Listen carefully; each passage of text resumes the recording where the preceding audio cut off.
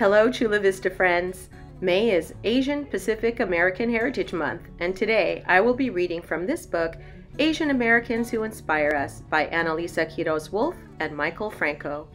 Whether artists, athletes, or activists, Asian Americans have shaped history and helped make our world what it is today. This book highlights just a handful of the many Asian Americans who inspire us. Hi, everyone. Today I'm going to be reading to you about Maya Lin.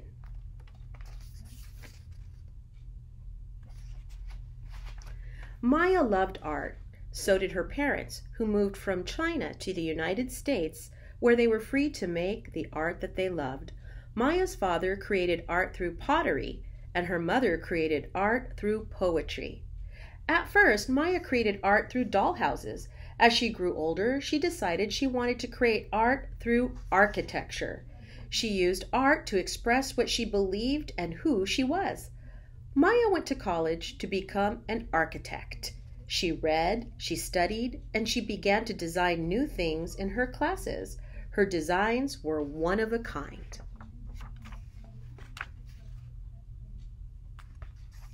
A teacher told Maya about a contest to design a memorial for people who had fought and died in the Vietnam War.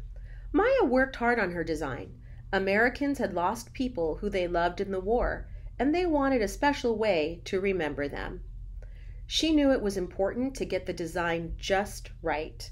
She studied the place where it would be built. She studied other monuments. She wanted to honor those who had died for their country.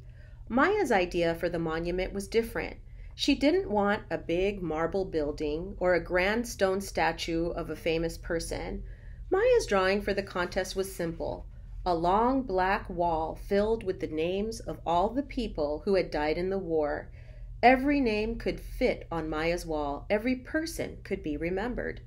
Maya didn't expect to win. After all, she was only a young girl in college. But the judges didn't know that. All they could see was her drawing. It was simple, creative, and powerful. More than 1,000 people entered the contest, but the judges chose Maya.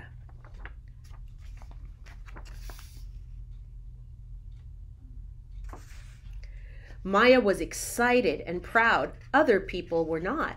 Some people said her design was ugly. Some people said a girl so young shouldn't win. Some people didn't like that a Chinese American had won the contest. Maya was heartbroken.